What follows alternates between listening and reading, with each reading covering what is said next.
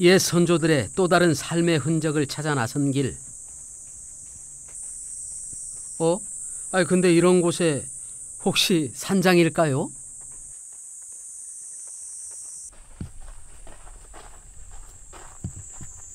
아 저기 누군가 계신데요. 아, 혼자 뭘 하시는 거죠? 아유. 아유, 안녕하세요. 어떻게, 여기 사시는 거예요? 예. 집이네요. 예, 여기서 살고 있어요. 아이고. 어떻게 오셨어요? 아니 저희 뭐 마니산 네, 올라가다가 네, 집이 보여가지고 들어왔거든요. 네. 오래 되셨어요 사신 지는? 오래됐어요. 산 속에 폐허나 다름없던 집을 보수해 14년째 살고 있다는 김수연 씨. 아니, 어쩌다 여기 들어오신 거죠? 네, 만이산에서 나를 부른 것 같아요. 아휴. 내가 여기 와서 모든 병이 나섰고, 그래서 여기서 살게 됐어요. 어디 많이 편찮으셨었나 봐요. 예, 제가 좀 많이 아파서 이 병원 저 병원 다 다녔는데 이상하게 병이 병이 잘 안 나오더라고. 그런데 이제 원자로 병원에 갔더니 백혈병으로 이제 판정을 받았어요. 그래갖고 30대 후반에 그럼 어떻게? 사람은 아프면은 지푸라기도 잡는 심정으로 막 이리저리 백방도 다 했는데 기독병원에서 어느 날 갑자기 한 50시간 동안 죽었었어요. 그래서 그때 당시에 보여준 자리가 여기입니다. 이렇게 다니시다 나 같은 사람 봤어요?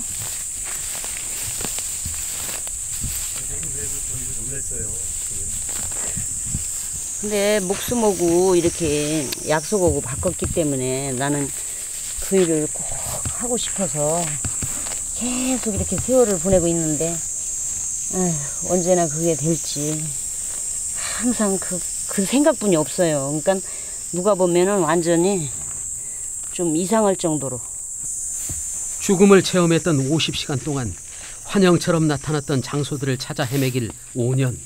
놀랍게도 이곳 주변에서 우연히 발견한 뒤 그녀는 목숨과 맞바꾼 약속을 지키고자 머물고 있답니다.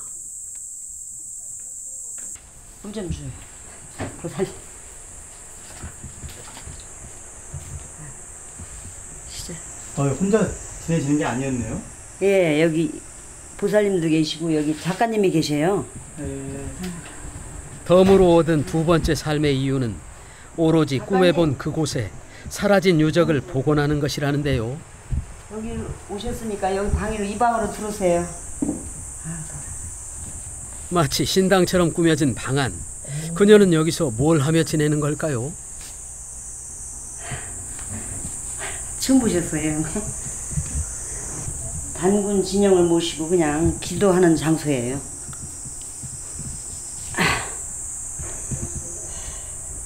아니 왜 이- 이런 기도를 하게 되셨어요? 단무실을 모시고?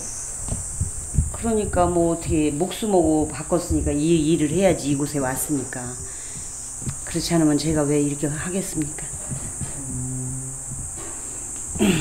이게 뭐 종교 뭐? 종교하고는 아무 상관이 없어요.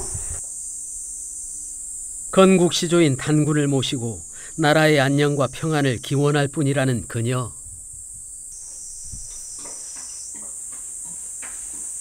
이거는 네. 이제 개천 저걸 계속 하시려고 하셨다는 게 저거예요? 예, 개천궁하고 게? 대웅전 또 여기 단군 성전 모시는 그 3층 목조 건물 네. 예. 저기 제궁터에다가 지금부터 예. 저걸 만드시는 예. 게 꿈이다. 이런 그렇죠. 말씀이시죠? 단군이 하늘의 제사를 지내기 위해 머물렀다던 옛 궁은 되살릴 수 있는 걸까요? 나라의 안정과 간의 평안을 바라오며 저희들 같은 뜻을 하늘에 고합니다. 이곳 만이산은 우주의 가장 중심점이자 하늘님께서 가장 가까이 계신 만이산 강화도 천재궁에서 두 손 모아 간절한 마음으로 기도 발언 올립니다. 하늘이시여 하늘이시여 하늘이시여